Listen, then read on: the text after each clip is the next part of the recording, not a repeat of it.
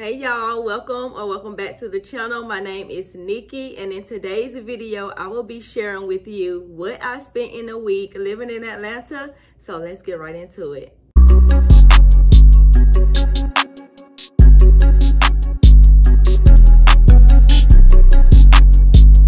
So the dates that we're going to be referring to are the 13th of May all the way up until the 19th of May. That's going to be a full week for me. My pay period actually start on a Saturday and ends on Friday. So I just went with that as my full week. So let's get right into the 13th and the 14th, which were both no spend days. I didn't have anything coming out of my account. However, I did receive some money on the 14th because that was actually Mother's Day. So yay for me. Now the 15th of May, starting with the most important transactions, which were my bills and gas and things like that. So on the 15th, I actually got gas. I always fill up my gas tank on Sundays.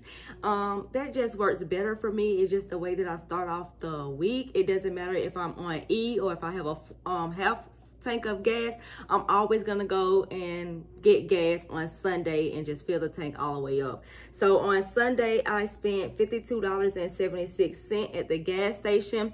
I also paid my credit card bill and that was $53 for my Discover card.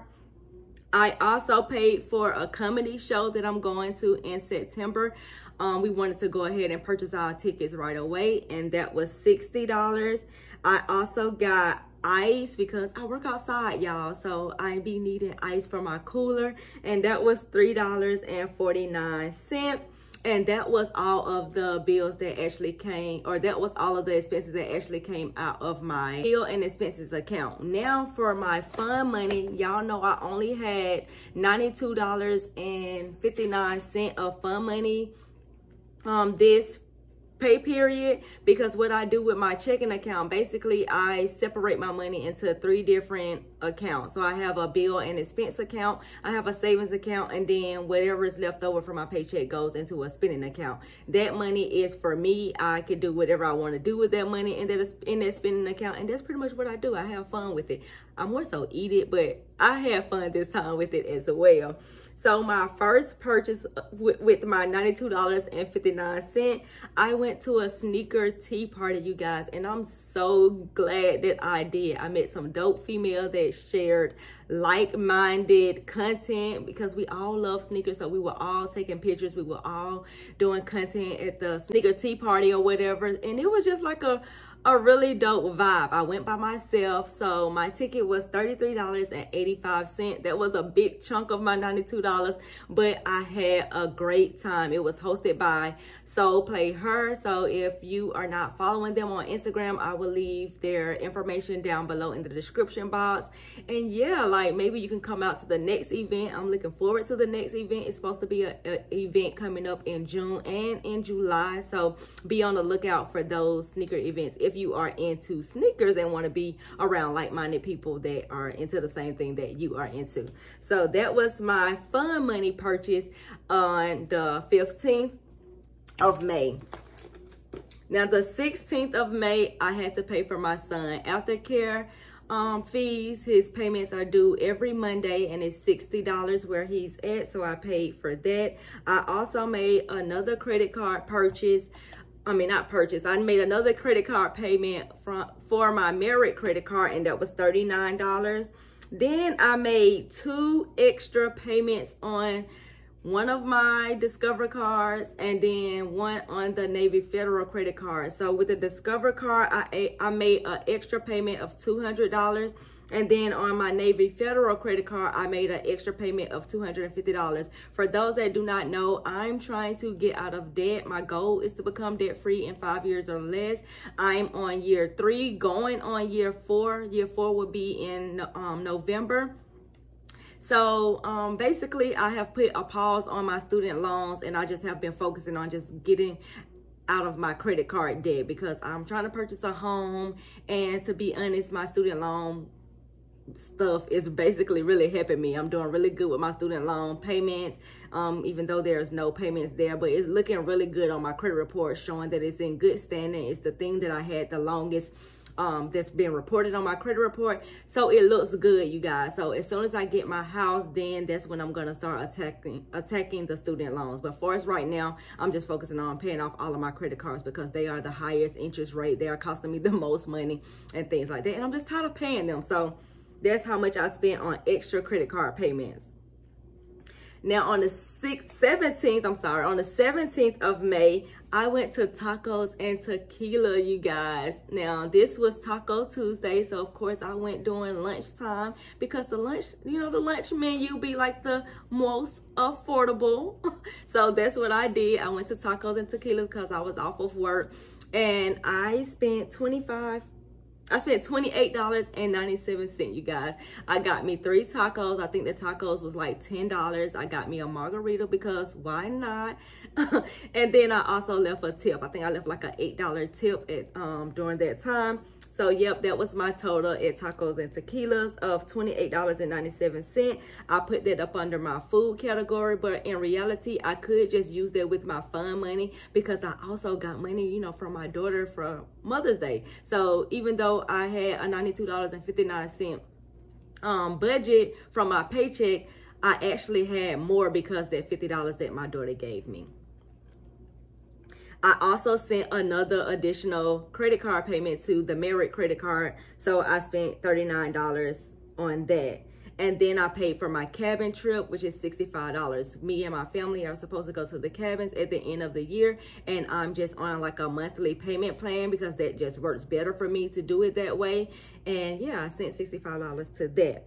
Now with my fun money on the 17th, like I said, I was off of work that day. So I also create my content or batch my content on the days that I'm off. So I went up to a different area this time and I had to pay for parking. So it was $10 to park.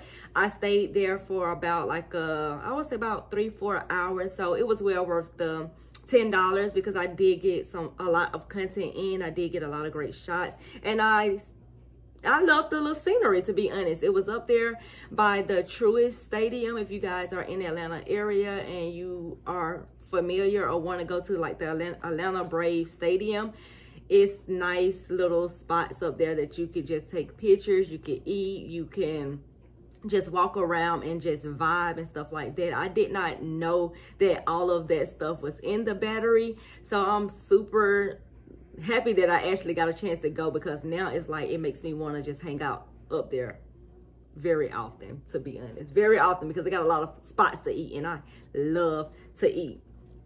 Now going into the 18th, I didn't spend any money from my bill and expense account, but I did spend money from my fun money. So I got a Kale Me Crazy iced coffee. If you guys haven't tried it, you need to do so. They have several different locations around the Atlanta area, and that cost me $8.55. I also had a Publix salad and a um, pink lemonade or raspberry lemonade, and that cost me $9.35 as well. Now going into the 19th, which is our last day of the week for spending money. So out of my bills and expense account, I gave $25 to one of my Facebook friends. She was asking for um, donation for her son um, graduation because her the school that he's at basically gave them a graduation at the last moment, you know, and did not tell her until the last moment. And so she was just trying to get up as much money as she could for her son. So I donated $25 to her for that.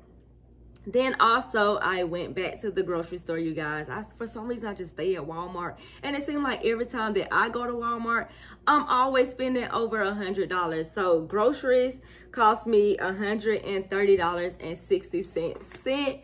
66 cent on the 19th of May. And then from my fun money, you guys, I bought a iced coffee, um, the frappe, the Starbucks frappe out of the gas station. If you buy anything out of the gas station, it's high. I'm just going to be honest.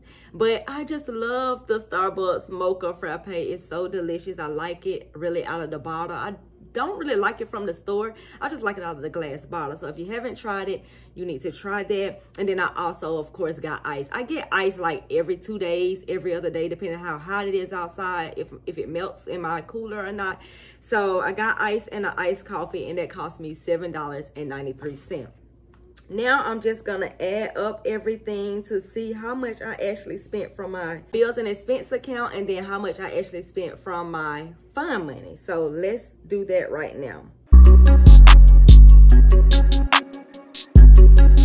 So for my bills and expense account, I spent $1,006.88. That is a lot of money to be spending just for a week, you guys. So $1,006.88 from my bills and expense account.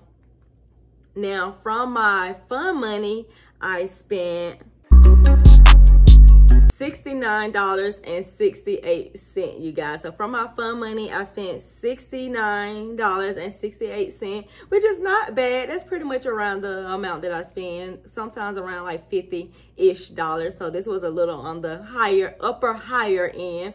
However, I'm so glad that I was able to pay my bills, also send money to my debt payments and have a little bit of fun. That's basically what this video is all about you guys. You can have fun while still being on a budget and i'm here to actually just show you guys how you could do that by getting organized with your finances. And how i get organized with my finances you guys as you can see in my notebook i plan out all of my money that i get paid and I give it a job to do. I know when the bills are coming out because I write it all down. And I actually have this workbook available for you guys. So if you are interested in just getting organized with your finances and just want to start budgeting and want to start saving and want to start having fun, I have this budget workbook, you guys, so that you can just start writing everything down and getting organized with it. I will leave it in the description box down below. If this video brought you some value or if it taught you something that you did not know, give me a thumbs up. Subscribe to the channel, you guys. I post videos over here weekly, sometimes two times a week week. Um, and yeah, and I will catch you guys in the next video. Bye.